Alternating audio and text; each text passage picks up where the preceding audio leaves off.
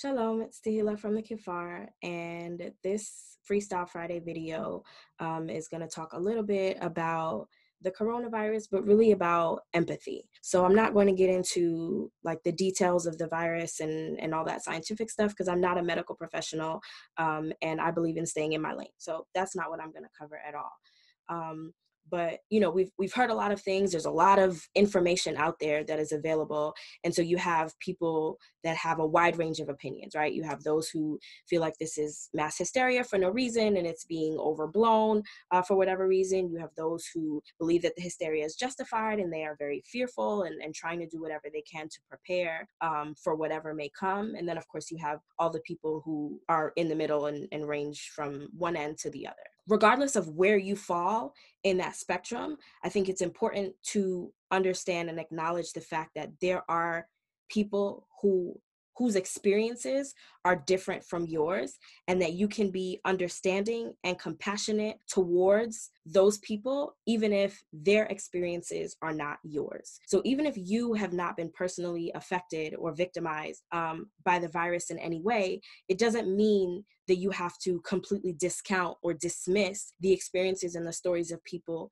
who are being affected by it. I think just just recognizing that multiple perspectives and multiple experiences are valid is a really important thing to do and it's something that is missing um, at least for me from my perspective in a lot of the like social media interactions. People are are looking at just what affects them and if they are not specifically being affected by something in this case the virus then it's as though it doesn't really matter across the board. So, regardless of how you feel about the entire situation, pandemic, whatever it is that you want to call it, there there are certain facts that are undeniable. One is that there are people who are dying. At an objective level, if we're just talking about numbers, the death rate again thankfully is very low, but again, that's a very objective view. If your family member, God forbid, is in that low number, then it, it does it's not low to you, okay? It's it's much much more personal. It's also a fact that people are being negatively affected in other ways.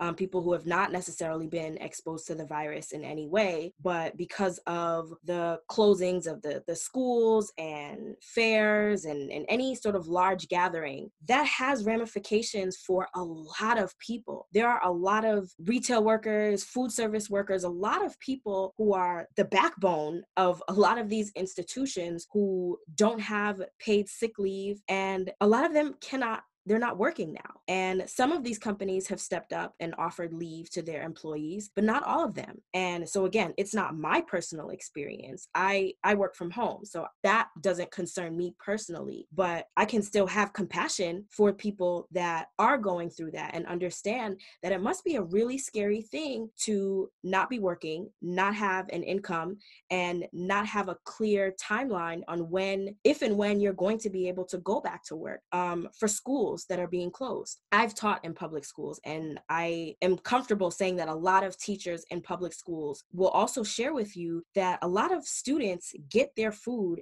at school. You have students who rely on school for breakfast and for lunch, and there there are some districts that are still providing meals um, or making accommodations for students who need food. But again, not all of them. And so, regardless of whether you think that they should be eating at school or not, the fact is that you now have students and parents who rely on the school breakfast and school lunch who now have to find alternatives. And if some of these parents have also been temporarily laid off, whatever you want want to call it, they're not going to work, it's a hardship all around. Um, you have a lot of entrepreneurs who were planning to attend fairs. For a lot of, um, particularly people who work in crafts and who sell products, they really rely on, especially those who don't necessarily have a storefront or who don't get a lot of traffic online, they rely on these in person events for a large um, share of their income. And so you have, you know, entrepreneurs who shell out thousands of dollars to make sure that they have enough inventory inventory to sell at these events that are now being shut down. A lot of them are happening after the vendors have already done their travel and realize that it's now going to be closed down and they have to carry all of their things that they expected to sell back home. And when you are an entrepreneur, you know that you you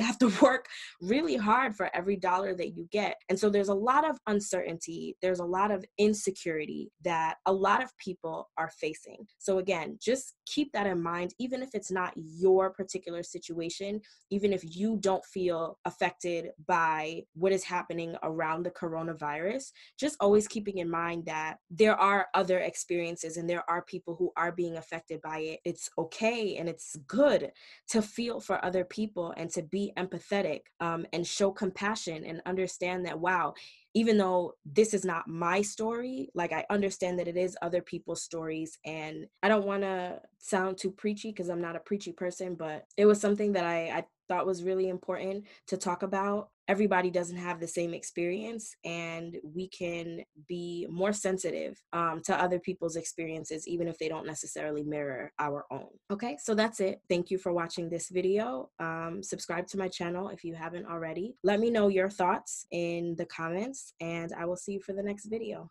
Lehitraot.